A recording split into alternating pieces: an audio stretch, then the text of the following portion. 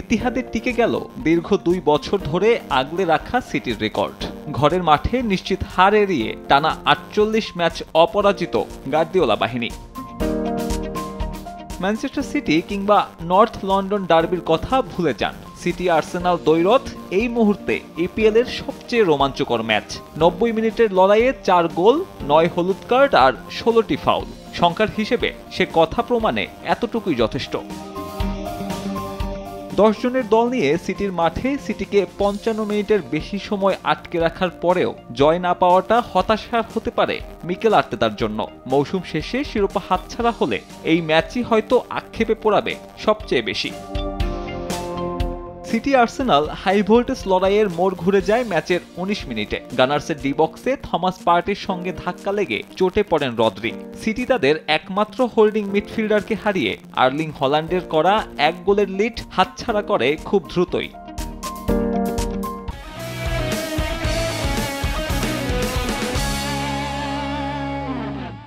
তিন মিনিট পরেই বা প্রান্ত থেকে মার্টিনালির কাউন্টার অ্যাটাকের পর ব্যাক পাস। বক্সের বাইরে থেকে কালাফিউরির বা পায়ের শট ফেরাতে ব্যর্থ অ্যাডারসান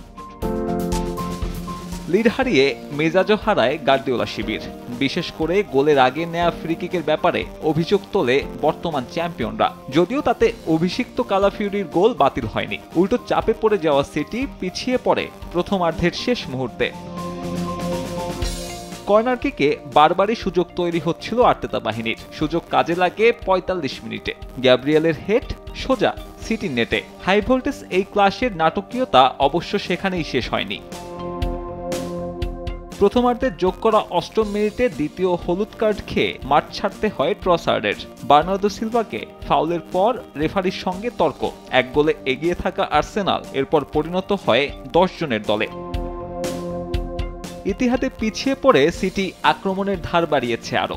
অন্যদিকে একজনের কমে পরিণত হওয়া অতিথিরা লিড ধরে রাখার চেষ্টা চালিয়ে যায় সর্বোচ্চ। কাজটা প্রায় করেই ফেলেছিল আর্সেনাল, যদি না একেবারে শেষ মুহূর্তে ওই কর্নার থেকেই গোল হজম করা লাগতো।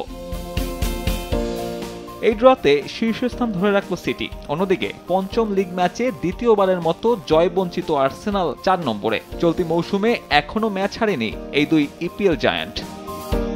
সাব্বির মিথুন সময় সংবাদ।